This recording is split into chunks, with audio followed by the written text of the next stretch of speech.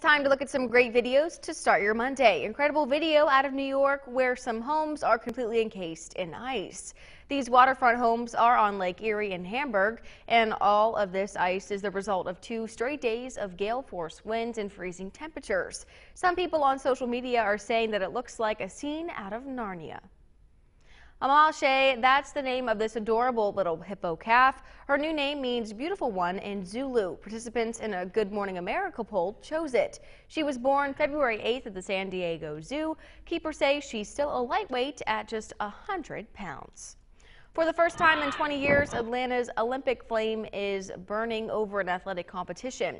The cauldron was lit Saturday morning for the 2020 Olympic U.S. Marathon Trials in downtown Atlanta. The Olympic cauldron stands near the site of the 1996 Summer Games. The cauldron was lit 24 years ago by Muhammad Ali during the opening ceremonies.